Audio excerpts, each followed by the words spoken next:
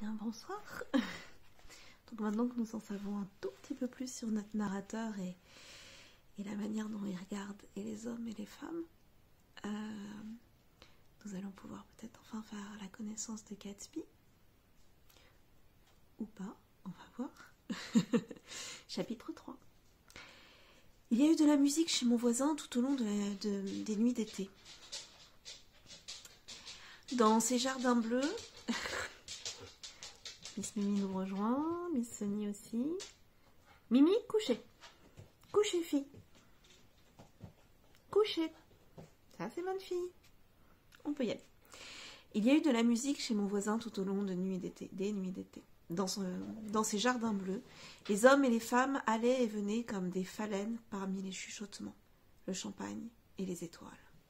À marée haute, l'après-midi, je regardais ces invités sauter de sa plateforme flottante ou prendre un bain de soleil sur le sable brûlant de sa plage. Tandis que ces deux canots à moteur fendaient les eaux du détroit, tirant des aquaplanes dans des cataractes d'écume. En fin de semaine, sa Rolls-Royce, devenue un omnibus, faisait la navette entre ville et manoir, de neuf heures du matin jusqu'à bien après minuit tandis que son fourgon automobile trottait infatigablement comme un insecte doré pour ne pas manquer un seul train. Et tous les lundis, huit domestiques, dont un jardinier engagé comme extra, besognaient toute la journée armés de serpillères, de brosses à récurer, de marteaux et de cisailles pour réparer les dégâts de la veille. Tous les vendredis, cinq cajots d'oranges et de citrons arrivaient de chez un fruitier de New York. Tous les lundis, ces mêmes oranges et citrons repartaient par la porte de service en une pyramide moitié, de moitié d'écorce vide.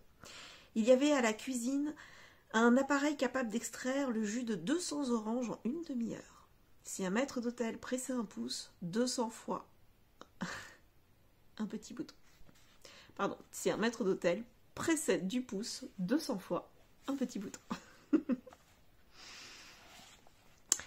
Une fois par quinzaine, au moins, un bataillon de fournisseurs de décoration faisait son apparition, chargé de plusieurs dizaines de mètres de toile et d'assez d'ampoules de couleurs pour transformer l'immense jardin de Gatsby en arbre de Noël. Sur les tables du buffet garnies de hors-d'œuvre aux reflets scintillants, les jambons cuits aux épices se serraient contre des salades bigarrées comme un manteau d'arlequin, et des pâtés de porc et de dinde en croûte qu'un sortilège avait porté à la perfection d'un or sombre. Dans le hall d'entrée était installé un comptoir de bar avec un véritable repose-pied en cuivre, qui abritait toute une réserve de jeans, d'alcool et de liqueurs oubliées depuis si longtemps que la plupart des dames invitées étaient trop jeunes pour les distinguer les uns des autres. À cette heure du soir, l'orchestre est en place, non pas un, maigre ensemble de cinq instruments, mais la fosse au grand complet, avec hautbois, trombone, saxophone, alto, cornet à piston, piccolo, caisse claire et timbales. Les derniers baigneurs sont maintenant rentrés de la plage et s'habillent à l'étage. Les voitures de New York sont garées sur cinq rangées dans l'allée, et déjà les galeries, les salons et les terrasses s'égaient de couleurs primaires, de cheveux taillés à la dernière mode et de châles qui dépassent les rêves des Castillanes. L'animation du bar est à son comble et les tournées de cocktails débordent peu à peu sur l'extérieur. L'air du jardin bruisse bientôt de bavardages, de rires, de sous-entendus sans conséquence, de présentations oubliées, oubliées sitôt que faites, et de rencontres enthousiastes entre des femmes dont chacune ignorera toujours le nom de l'autre. L'éclat des lumières augmente à mesure que la, terre, dans une lente embardée, s'écarte du soleil. L'orchestre à présent joue une musique jaune cocktail et l'opéra des voix monte d'un ton. Les rires fusent plus facilement de minute en minute, jaillissent avec prodigalité, déclenchés par un simple mot plaisant. Les groupes se modifient plus rapidement, se gonflent de nouveaux arrivants, se désagrègent et se recomposent presque en même temps.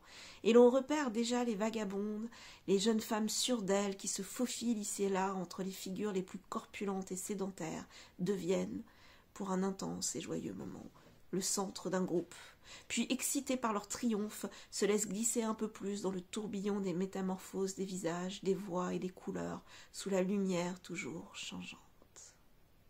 Soudain, l'une de ces bohémiennes, vivant frémissement d'opale, saisit au vol un cocktail, l'engloutit d'un trait pour se donner du courage, et agitant les mains comme Frisco, se met à danser seule sur la piste de toile. Un silence se fait.